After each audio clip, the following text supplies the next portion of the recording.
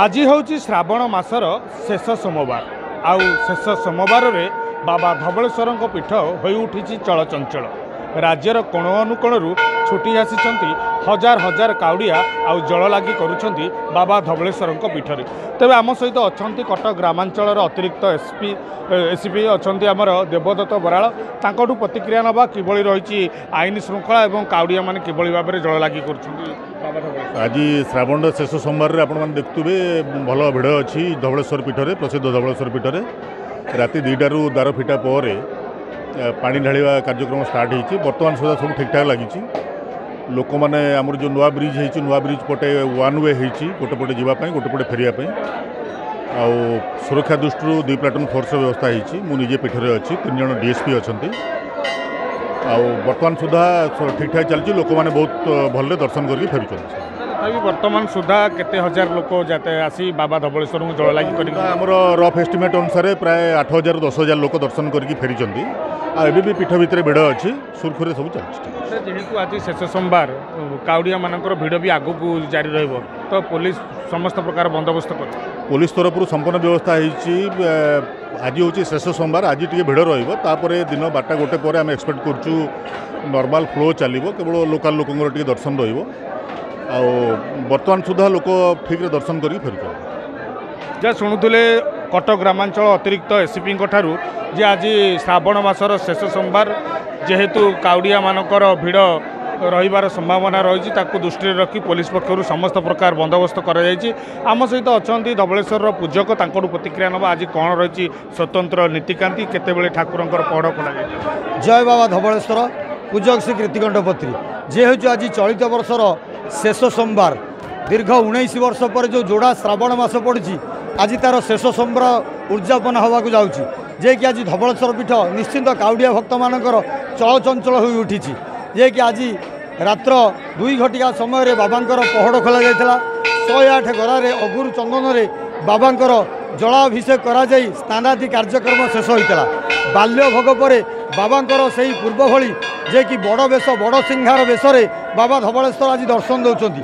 କାଉଡ଼ିଆ ଭକ୍ତମାନେ ସେ ଦୁଇଟା ପରେ କାଉଡ଼ିଆ ଭକ୍ତମାନେ ବା ଆମର ଶ୍ରାବଣୀ ଯେଉଁ ଲିଙ୍ଗ ଅଛି ସେହି ଲିଙ୍ଗରେ ପାଣି ଢାଳି ବାବାଙ୍କୁ ଦର୍ଶନ କରି ନିଜ ଘରକୁ ପ୍ରତ୍ୟାବର୍ତ୍ତନ କରୁ। ଯେହେତୁ ଚଳିତ ବର୍ଷ ଯେଉଁ କାଉଡ଼ିଆ ଭକ୍ତମାନେ ଆଜି ଏକତ୍ରିତ ହୋଇଛନ୍ତି ନିଶ୍ଚିତ ଯେଉଁ ଆମର କଂକ୍ରିଟ ସେତୁ ମାଧ୍ୟମରେ ଆସୁଛନ୍ତି ଶ୍ରଦ୍ଧାଳୁ ଭକ୍ତମାନେ ବହୁତ ଖୁସି ଆନନ୍ଦ ଉଲ୍ଲାସରେ ବାବାଙ୍କୁ ଜଳାର୍ପଣ କରୁଛନ୍ତି ନିଜର ମାନସିକ ରଖୁଛନ୍ତି। ଯେହେତୁ ଆଜି ଶ୍ରାବଣ ମାସର ଶେଷ ସୋମବାର ଦ୍ୱାଦଶୀ ତିଥି ଏଇ ଯେଉଁ ବାବା ଧବଳେଶ୍ୱର ପୀଠ କଳାକୁ ଧଳା କରିଥିବାରୁ ଯେଉଁ ବାବା ବାବା ପୀଠକୁ ଆସନ୍ତି ଭକ୍ତମାନେ ନିଜର ମାନସିକ ରଖିଥାନ୍ତି ନିଶ୍ଚିନ୍ତ ବାବା ଧବଳେଶ୍ୱର ତାଙ୍କର ମାନସିକ ମଧ୍ୟ ପୂରଣ କରନ୍ତି ଆଜି ଦେଖୁ ଚଳିତ ବର୍ଷର ଶେଷ ସୋମବାର ରାତ୍ର ସାତ ଘଟିକା ସମୟରେ ଆଜି ଯେଉଁ କି ବିଶ୍ୱର କଲ୍ୟାଣ ପାଇଁ ଆମର ଯେଉଁ ମେଳା ଧବଳେଶ୍ୱର ମେଳା ଉଦଯାପନ ଆଜି ମଧ୍ୟ ହେଉଛି ଧୁମଧାମରେ ପାଳିତ ହେବ।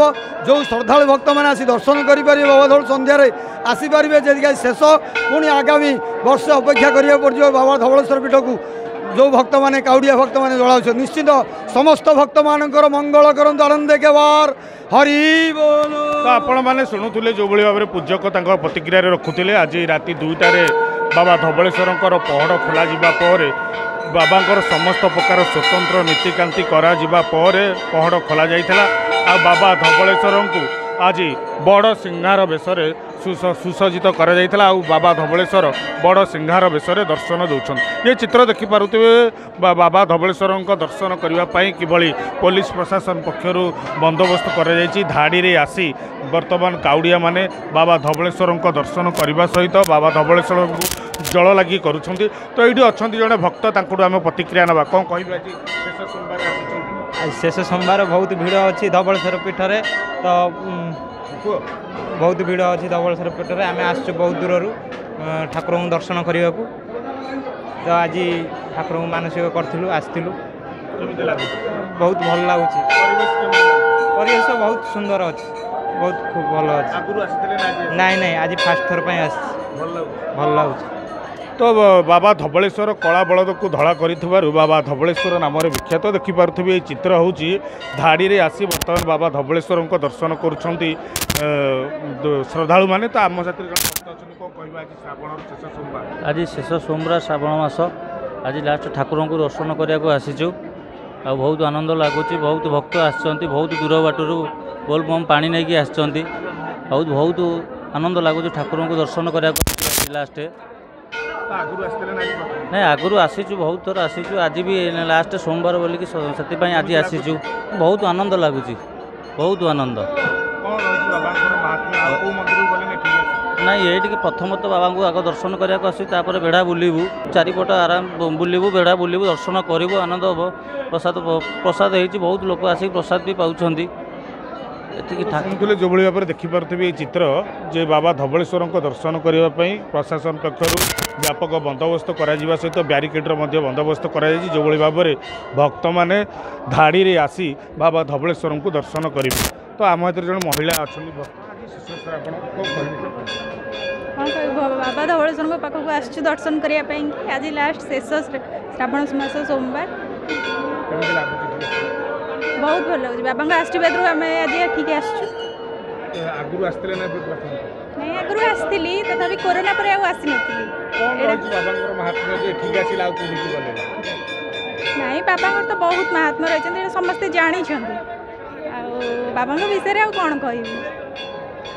ତ ଦେଖନ୍ତୁ ଇଏ ଚିତ୍ର ପୁରାପୁରି ଧାଡ଼ିରେ ସମ୍ପୂର୍ଣ୍ଣ ଭାବରେ ପ୍ରଶାସନ ପୋଲିସ ପ୍ରଶାସନ ଦେବତାର ବିଭାଗ ପକ୍ଷରୁ ସମ୍ପୂର୍ଣ୍ଣ ଭାବରେ ବ୍ୟାପକ ବନ୍ଦୋବସ୍ତ କରାଯାଇଛି। ଯେଭଳି ଭାବରେ କାଉଡ଼ିଆ ମାନେ ଆସି ଧାଡ଼ିରେ ଆସି ବାବା ଧବଳେଶ୍ୱରଙ୍କୁ ଦର୍ଶନ କରିବେ ଆଜି ଯେହେତୁ ଶ୍ରାବଣ ମାସର ଦ୍ୱାଦଶ ତିଥି ଆଜି ଶ୍ରାବଣ ମାସର ଶେଷ ସୋମବାର ଆଉ ବାବା ଧବଳେଶ୍ୱର ବଡ଼ ସିଂହାର ବେଶରେ ଦର୍ଶନ ଦେଉଛନ୍ତି ଆଜି ଆଉ ଏହି ବଡ଼ ସିଂହାର ବେଶକୁ ଦର୍ଶନ କରିବା ପାଇଁ ବର୍ତ୍ତମାନ ଧବଳେଶ୍ୱର ପୀଠରେ ହଜାର ହଜାର ଶ୍ରଦ୍ଧାଳୁଙ୍କ ଭିଡ଼ ଜମିବାରେ ଲାଗିଛି। ଧବଳେଶ୍ୱର ପୀଠରୁ ସନ୍ତୋଷ ବାରିକ ଅର୍ଗସ୍ ନ୍ୟୁଜ୍।